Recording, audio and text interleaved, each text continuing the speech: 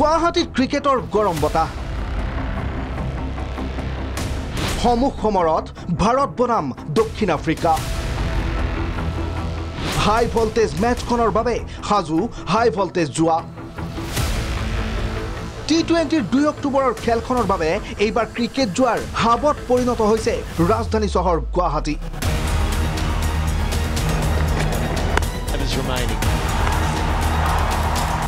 ভাৰত বনাম দক্ষিণ আফ্ৰিকাৰ মেটছখনৰ বাবে যিদৰে বৰ্ষাপাৰা ষ্টেডিয়াম সাজু হৈছে ঠিক একেদৰে সাজু হৈ উঠিছে জোৱাৰীৰ আড্ডাস্থলী প্ৰতিটো অভাৰ প্ৰতিটো উইকেট প্ৰতিটো বলৰ বিনিময়ত লাখে লাখে জোৱা খেলিবলৈ সাজু ক্ৰিকেট জোৱাৰী।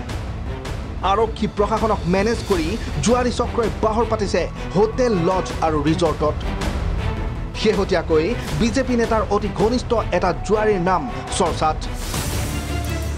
বৰপেটা ৰোডৰ মলয় নামৰ এটা জোৱাৰীয়ে ৰাজ্যত আৰম্ভ কৰিছে কোটি টকীয়া ক্ৰিকেট যোৱা স্কাই এক্সেঞ্জ নামৰ এটা এপেৰে দিল্লী আৰু ৰাজস্থানৰ পৰা নিয়ন্ত্ৰণ হোৱা ক্ৰিকেট যোৱা চলাই গৈছে একাংশ বুকিয়ে।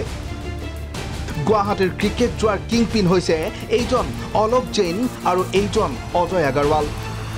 আঠগাঁৱৰ অলোক জৈন আৰু শিলপুখুৰীৰ অজয় আগৰৱালৰ নাম বহু পুৰণি। কিন্তু তাৰ পিছতো আৰক্ষীয়ে ৰহস্যজনক কাৰণত এই দুটা ক্ৰিকেট জোৱাৰীক আজি পৰ্যন্ত গ্ৰেপ্তাৰ নকৰিলে। অজয় আগৰৱালৰ সহযোগী হৈছে পৱন মহেশ্বৰী। বহিৰাজ্যৰ পৰা পৱন মহেশ্বৰীয়ে নিয়ন্ত্ৰণ কৰে গুৱাহাটীৰ জোৱাৰ বজাৰ। কেৱল ইমানেই নহয় শেহতীয়াকৈ ক্ৰিকেট যোৱাৰ অন্যতম জোৱাৰী হিচাপে নাম পোহৰলৈ আহিছে মাছ খোৱাৰ ব্যৱসায়ী চনু চৰেৰিয়াৰ।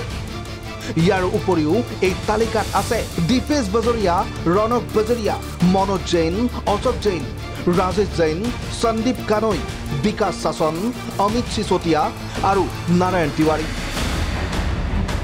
ক্ৰিকেট যোৱাৰ কথা ক'লেই বাৰে বাৰে উচ্চাৰণ হয় এইবোৰ নাম। কিন্তু ৰহস্যজনকভাৱে অসম আৰক্ষীয়ে এইসকলক দেখিও নেদেখাৰ ভাও ধৰে প্ৰতিবাৰে। প্ৰশ্ন হৈছে কিয় আৰক্ষীৰ ইমান দৰত এইবোৰ ক্ৰিকেট জোৱাৰীৰ বাবে? এনেবোৰ জোৱাৰীৰ বাবেই বহু লোকে সৰ্বশ্ৰান্ত হৈ আত্মহননৰ দৰেও পন্থা বাছি লৈছিল বিগত সময়ত। কিন্তু তাৰ পিছতো নীৰৱ অসম আৰক্ষী সমৰজ্যোতি শৰ্মা ৰিপৰ্ট প্ৰাগ নিউজ।